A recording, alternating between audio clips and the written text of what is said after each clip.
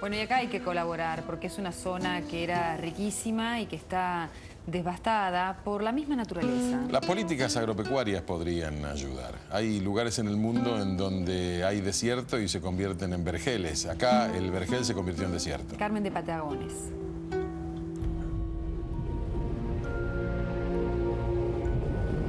Esto ya llevamos de año de pérdida, ya venimos con dos años consecutivos. Y no llueve, entonces se voló todo el campo, se volaron todos los campos acá. Acá estamos en el monte y fíjate cómo está la tierra.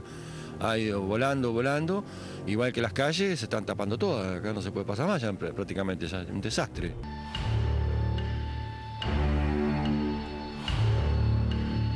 No ha quedado nada, se están muriendo los animales. La verdad que no sé si quedan 200 ovejas. Y yo el año pasado para esta época tenía 800 ovejas. Y así esclié 530. Y ahora no sé si quedan 200 ovejas. Yo estoy viviendo hoy del patio prácticamente porque tengo pollo, gallina, pavo, chancho.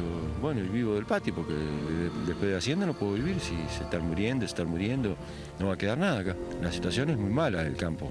Más uno que vive preso acá en el campo y yo estoy de, día y de noche, todo, toda la semana completa, no voy casi nada al pueblo. Lo que pasa es que no sé qué hacer, porque tengo una miseria total y no sé para qué la voy a agarrar. Y a no tener empleo, no tengo nada, vivo preso acá en el campo.